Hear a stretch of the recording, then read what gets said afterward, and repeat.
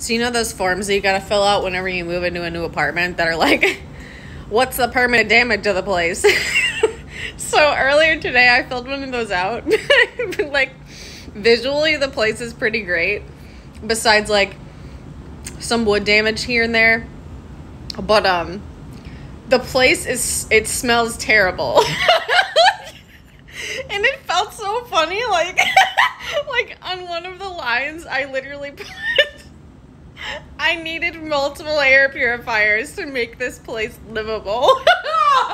like it's like the most autistic critique of permanent damage I've ever heard of. Like I had, I said the oh, the cabinets make my my cups and my dinnerware taste like taste like the smell. it's terrible. It's terrible. But also so very autistic of a